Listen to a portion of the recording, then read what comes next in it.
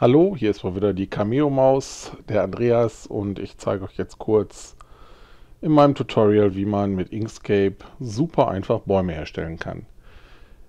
Okay, wir starten. Ich gehe einfach nur hier oben auf Erweiterungen, Rendern und zufälliger Baum.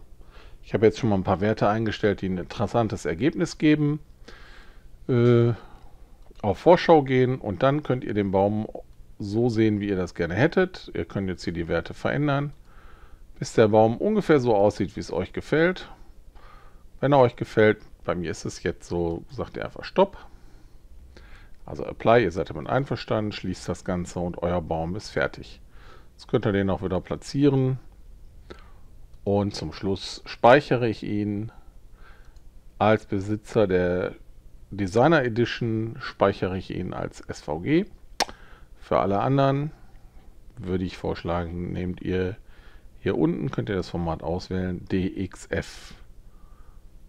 Alles klar, ich will aber SVG, ich speichere jetzt einfach mal, da ich ihn schon vorher gespeichert hatte, sage ich ersetzen und kann mich jetzt eigentlich aus Inkscape verabschieden.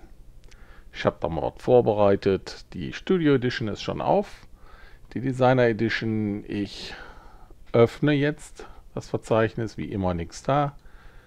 Alle Files und gehe auf Baum SVG. Hallo, da ist der Baum. Ich markiere ihn, wie immer gehe ich hin und gruppiere solche Sachen.